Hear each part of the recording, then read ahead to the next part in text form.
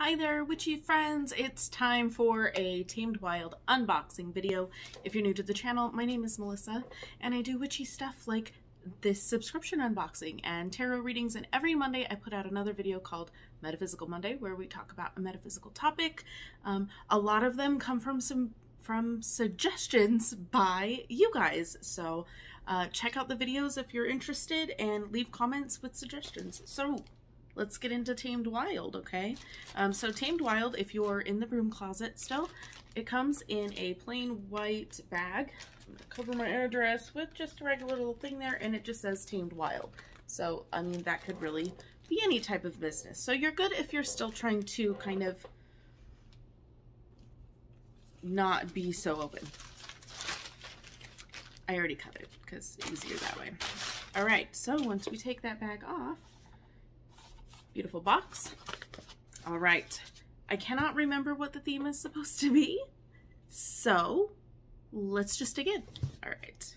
Do, do, do. Okay. The last couple boxes have been really, uh, like it's not taped or anything. Oh, but like, I don't know if it's because it's full, but like these little things are sticking in really hard. All right. They're coming along now. Alrighty. Ooh, wild medicine. That is our theme. And that's what we look like. Something smells good. Okay, so this is our little booklet. They usually come with these, a little booklet about wild medicine. So I'm imagining that this is going to be herb and, and properties and stuff. Uh, I opened to Blue Lotus, botanical name Nympha, Nympha, Nymphaca yeah, it's in like a, a cursive font and it's very small. okay, so uh, description Blue Lotus is a beautiful tropical water lily that has blue star shaped flowers. Historical uses um, used in Egyptian rituals and shamanic, shamanistic traditions all the way back to the 14th century. Uh, healing histories say that Blue Lotus is also a serene sleep aid and can be used in dream work. Interesting because Monday's Metaphysical Monday video is about crystals for dreaming and or sleep slash insomnia, that type of stuff. So if that's your thing, make sure you hit subscribe because um, Monday's video is all about that. All right, magical uses, work with Blue Lotus during dream divination and lucid dreaming work. Lore, Blue Lotus is mentioned in the Book of the Dead. Often associated with death, rebirth, and creation, Blue Lotus was used by an by the ancient Egyptians during rituals in which they were steeped in wine and then shared collectively. So a little bit about that, but that is, um, it's a lot of words. It's very good descriptions. Um, there are some illustrations of some of the herbs or plants or there's cherry, chickweed, cedar, linden, mangosteen, like all kinds of stuff. And some, I really like the, um, like vintage look to the illustrations. But yeah, there's there's a pretty good amount of of herbs there. All right, so I'm not gonna read this, but I'm gonna flash it real quick. Little card saying what's in there. Um, and this one says Persephone's torch. So we'll see what that's about. That may be like our ritual that's in here. Um, but I'm not going to read too deeply until the end. At the end, we'll go through and read those together. All right, we have our, our little Tamed Wild pouch. Oh, I think it's an amulet. I'm not wearing my bracelet. I'm not wearing any jewelry. I should have put some jewelry on. Ooh, okay, so the so Perse Persephone's torch, this must be a charm for Persephone. Um, and they're doing an amulet series uh, at the beginning of the year, January, maybe December, January. Um, we got um, a bracelet uh, and we're filling it with charms throughout the year. So approximately every other box is getting a charm. You can buy them all separately on their website, but this one's a moon. Ooh, the back of it also, like, it's like, mm, there might be more information about it. Oh, my new phone focus is so much better. I'm, I'm so happy. Okay, so it kind of looks like a moon on the back too, but then like there's a crescent. And so we'll see if there's any more information on that, but I, I love the charms. Okay, and then we have some incense cones, which it probably says what they are. Um, I can't tell what flower that is. It kind of looks like an iris. That might be an iris. Let me let me take a sniff for you. Oh, that smells good. It's kind of like a sweet floral. It doesn't smell like any incense I've ever used before, so there's probably information on the card that I won't read yet. All right, and then we have our Mabon uh, tea. And I will show you what the tea itself looks like. Oh, I'm so excited. My new phone. Oh my goodness. All right. Contains black tea, orange peel, cinnamon, and natural fruit flavoring. And all at once, summer collapsed into fall. Oscar Wilde quote. Um, so black tea is known for its antioxidant property, while orange is said to aid in migraines and head pain. For the mystics, this blend honors the turn of the wheel and the second harvest in the season of three. So um, there you go. It's uh, pretty full in there too. There's probably, usually, because they're really tiny packages, but usually uh, you can get probably, depending on how strong you drink your teas, um, they're I want to say maybe three to four servings in each one. So not too bad. Oh, okay. I do remember seeing this. It's a little spell spoon with a leaf handle. Okay, like not spell spell spoon. Like, you know, for you can use it for your teas. You can use it for adding things to spell jars. You can enchant i have um i have a spoon a specific i'm gonna tell you story time. Um i have a uh, like it's a teaspoon like they're the longer ones for like stirring iced tea um which i don't need because i don't add anything to my iced tea because i don't like sweet tea. Sorry don't don't cancel me. I don't like sweet tea. Um i do like lemon in my tea so i, I guess i could use it for that. Anyways um i have a specific spoon that i use for my coffee. It's um it's the you, you see them like on Amazon where they're like iridescent or whatever, like the, the rainbow metallic ones. Um, so it stands out amongst all of my other cutlery. So um, every morning I charge my spoon before I stir my coffee and I say a little something um, depending on how I want my day to go.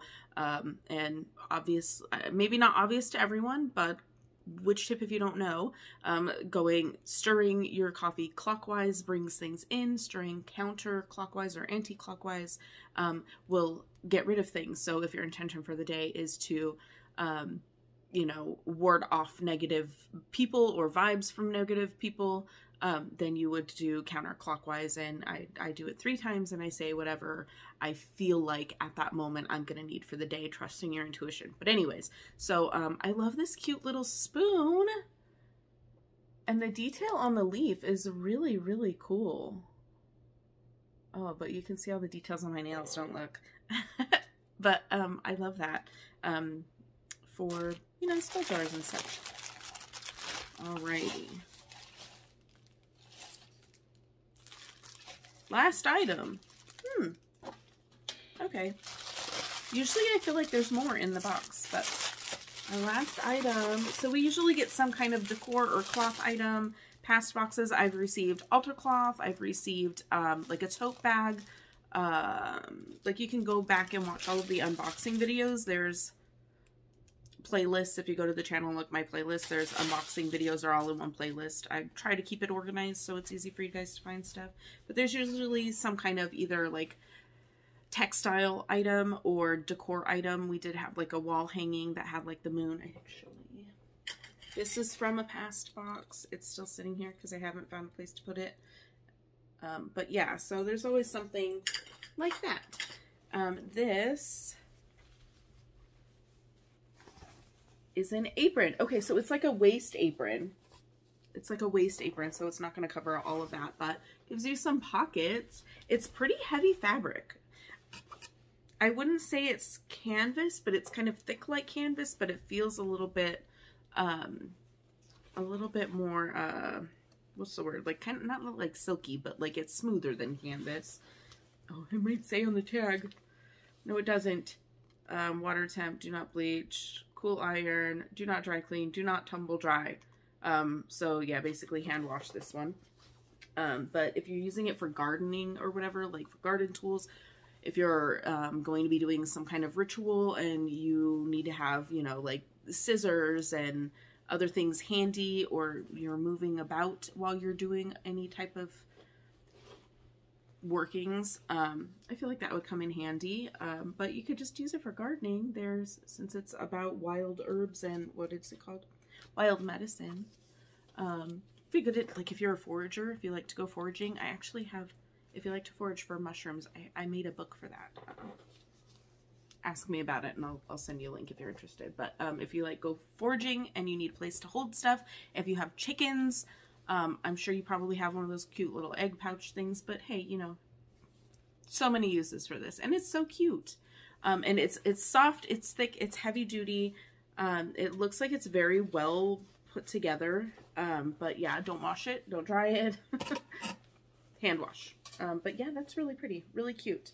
Um, pretty long apron strings. Um, I'm gonna try. I'm I might stand up. I'm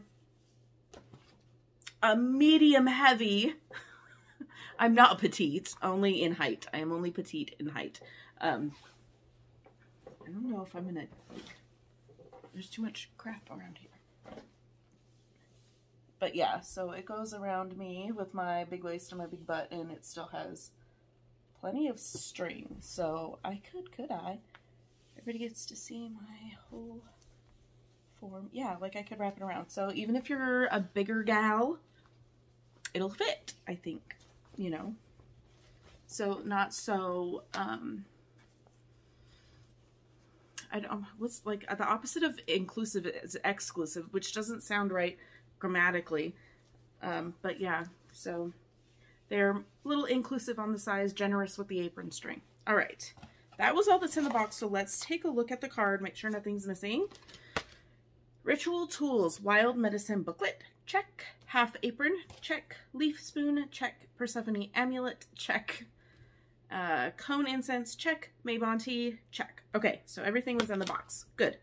Um, so 100, the booklet learn about a 100 magical and medicinal plants in our wild medicine booklet. So there's a 100 in there, um, along with a little bit of uh, lore. Do, do, do, do, do. So for this ritual, we'll create an ancestral offering in the form of a tea blend. I feel like I missed something. I'll just start over. Learn about 100 magical medicinal plants in our wild medicine booklet. With this within this book, we've included the historical uses of each herb forgotten plant lore, and suggestions for incorporating flowers, spices, and flora of all kinds into ritual and spell work. For this ritual, we will create an ancestral offering in the form of a tea blend, a same, simple snack or favorite meal. Use this booklet as a guide when choosing ingredients for the recipe. To learn more about a specific herb, visit magic with a K and alchemy.com and click on the tab labeled Herbal Alchemy. So I will put that in the description so that you have the proper spelling for it if you're not familiar with the site because I'm not, never heard of it. So that will be cool to check out. Um, the half apron. Uh, many things make us feel magical from the tools we use to the books we read. Even the people in our inner circle can affect our energy. Ceremon ceremonial clothes are another element that can influence how we perceive ourselves during ritual and spell work like a superhero applying a mask or a magician donning a cape. When we wear this apron, we invoke our inner alchemist, plant mag, mag, mag magus, mag, yeah, that, that word, and kitchen witch. All right, so the leaf spoon, perfect for stirring tea or scooping herbs from jars. Incorporate this delicate spoon into your home apothecary or kitchen altar as you see fit. Persephone amulet. Persephone is the springtime maiden, the queen of the underworld, and keeper, also the initiator, in parentheses, of mysteries. When she stands alongside her mother Demeter, they represent the ebb and flow of seasonal vegetation as well as the light and dark phases of the moon. As a dark goddess, Persephone appeals to the living through her connections to the dead. Uh, she serves the shadow worlds by guiding lost spirits and meditate mediating between realms. For this ritual, we will use this amulet to invoke Persephone. With the dark goddess by our side, we will extend an invitation to an ancestor or spirit with whom we wish to speak. May her torch lead them back to the realm of the living and shine a light on the messages we receive. After this ritual, you may add this amulet to a bracelet or chain To do this, find a pair of pliers, open the jump ring on the top of the charm, um, open the ring just enough so that you can slide it. It, it kind of explains how to add it. Um, the Persephone Amulet is the fifth charm in our 2021 Amulet series. There will be a total of six charms that subscribers can collect in preparation for an end of the year intention setting ceremony. You do not need to acquire the entire collection, but as new amulets become available, you can find them on our website, tamedwild.com. Cone incense. Place the cone incense in a burn safe bowl and let it smolder as you craft your ancestral offering. You can use the incense to represent the elements of air on your altar, a pentagram, or in your home. Mabon tea, um, uplifting, blend of black tea, cinnamon. We already went through that. Um, brew two cups to close out today's ritual. To show gratitude to Persephone for her service, dedicate the first cup to her. Drinking, drink the second cup to ground yourself and recenter your energy. All right, so Persephone's torch. So if you don't want to listen to me read it, um, I will do this so that you may. I don't know if it's going to be backwards, so it's a new phone. I don't know if it's going to flip this or not once it's done recording. Um, if you wanted to screenshot, that's the front. And that's the back. Hopefully it flips it back around when we uh, publish it. All right, so if not, you can always just screenshot and then use your photo editor. I'm sure you know how to work your stuff. All right, Persephone's torch. When harvest season arrives, Greek goddess Persephone begins her annual descent into the underworld. No longer a springtime goddess, Persephone trades her flower crown for a magical torch, one that can never be distinguished. She uses its light to navigate the realm of darkness and call the dead. Although this goddess serves her devotees in many ways, she is compa- she is a compassionate guide. Not only does she escort deceased souls to their next home, but she also acts as a mediator between realms. Today, we invoke Persephone to help us deliver an ancestral offering. In place of an ancestor, we can ask Persephone to summon a younger version of ourselves, a deity, dream guide, or a late mentor, friend, lover, animal companion that's left a lasting imprint on our soul. So we're asking her to um, guide somebody or a being that has been in our life that is crossed over um, to bring them forward. Uh, begin by purifying the kitchen, donning your apron, and setting up a temporary kitchen altar. The altar's location isn't important, so long as it doesn't interrupt the flow of the kitchen. In the center of the altar, envision a glowing pentagram laid out in front of you. Imagine there are about 12 inches of rainbow colored light running between the points of a five pointed star if you're a visual person or if you aren't, well, if you're a visual person or are struggling to envision the pentagram, make physical lines with salt, cinnamon, dried rose petals, mustard seed, or another ingredient that contributes to the essence of your offering. So you could probably use this booklet that they sent to find other items that might work for you to create a pentagram yourself. All right, the pentagram's points represent the elements air to the right, water to the left, earth to the bottom left, fire to the bottom right, and spirit at the top. Gather items to represent each of the five elements. If you need suggestions, consider using a candle for fire, incense for air, a shell or chalice for water, and a stone for earth. For the point representing spirit, use a photograph or another representation of the person receiving the offering. So, whoever you're um, calling in. If you have an object previously owned by them or something written by their hand, include these items next to the photo. Lastly, write the full name of whom you wish to speak on a piece of parchment. Include any messages and questions that you have for them. Place the parchment in the center of the pentagram and rest the Persephone amulet on top. Stand in front of your altar. Light the incense and the candle. Hold your hands over the center of the pentagram and envision Persephone standing next to you. Visualize what she is wearing and the color of her hair, sense her torch's heat, and hear. Oh, it got warm. Um, visualize what she's wearing and the color of her hair. Sense the, her torch's heat and hear. Every time I say torch's heat, my hand warms up. Um, and hear the embers crackle. When she places her hands over yours, the torch creates a protective bubble of light surrounding both of you. Rub your hands together for about 20 seconds as if you're trying to warm them. And then, with the pointer and middle finger on your dominant hand, trace the outline of the pentagram starting at the top, the point re- representing spirit, and draw a line down to the bottom left to the point representing earth. This direction is intentional. Draw, uh, drawing a line from spirit to earth mimics the divine energy we're inviting into the physical realm. Next, move from the point of earth to air, air to water, water to fire, and fire back to spirit. Repeat this process several times. Imagine your hand as an extension of Persephone's torch. As you trace the pentagram, pay attention to your breath, your posture, and any sensations or thoughts that arise. Envision a shaft of light beaming down from the heavens. It enters the torch, permeates the pentagram, and seeps out from beneath your altar. Beneath the pentagram, a glowing web of roots appears.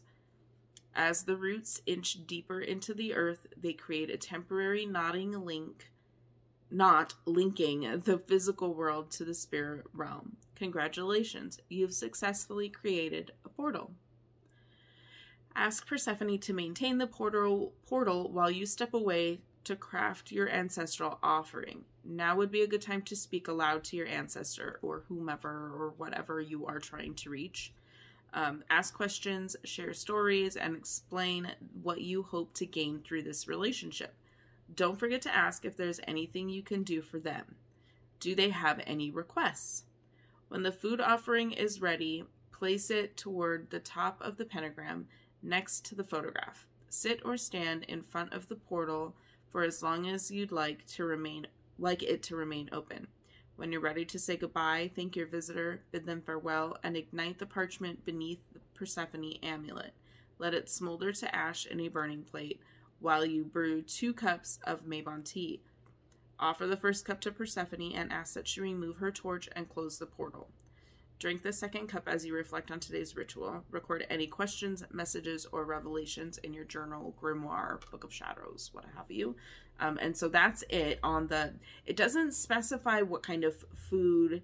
Um, you know, you, that is up to your intuition. You could pick something that um, is relevant to the person, deity, entity, pet, whatever. Um, something that they would like. Obviously, that's what an offering would be. Um, I personally don't do deity work yet. I, am I'm, I'm still researching. Um, I consider myself more of a chaos witch. Um, so obviously, I'm going to be re- researching. I mean, maybe not obviously, but I'm going to be researching a lot before I do it. Um, so yeah, there's that. So if you have any questions or any like you need clarification on what some of the items were, let's recap really quick.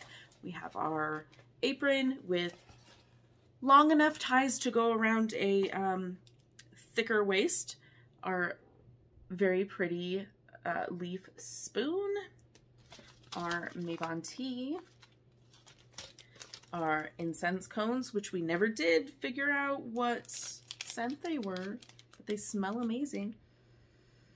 It's not vanilla. Those look, that that's that, what do you think that flower is? Is that an iris? It kind of looks like an iris our Persephone amulet